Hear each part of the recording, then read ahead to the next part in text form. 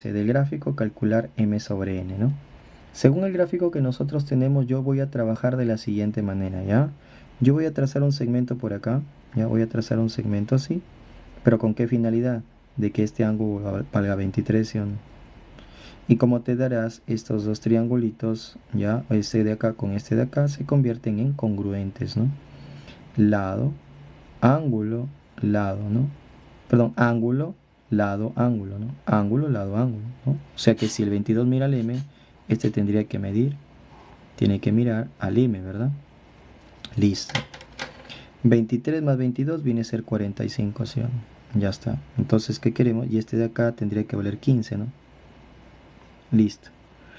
Muy bien, entonces de alguna manera tenemos que eh, trabajar por acá, ¿no? Entonces por acá, mira, ve, voy a trazar una perpendicular por acá.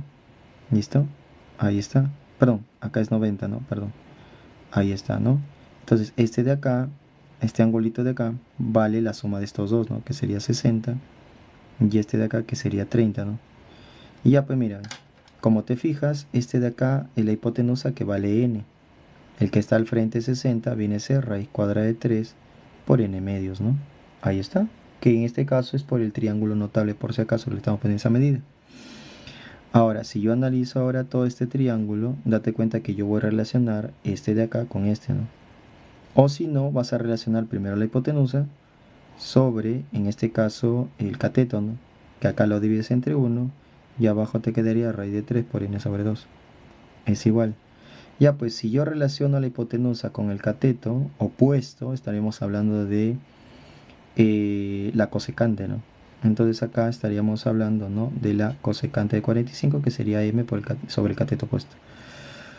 ¿No? Ahí está. Entonces, pero como estamos teniendo cosecante de 45, viene a ser raíz cuadrada de 2, ¿no? Ya está. Muy bien. Y acá hacemos extremos medios, ¿no? Listo.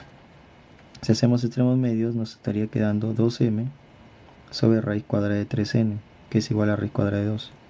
Raíz cuadrada de 3 pasa al otro lado a multiplicar, que me quedaría raíz cuadrada de 6, y el 2 pasaría a dividir y nos quedaría de esa manera.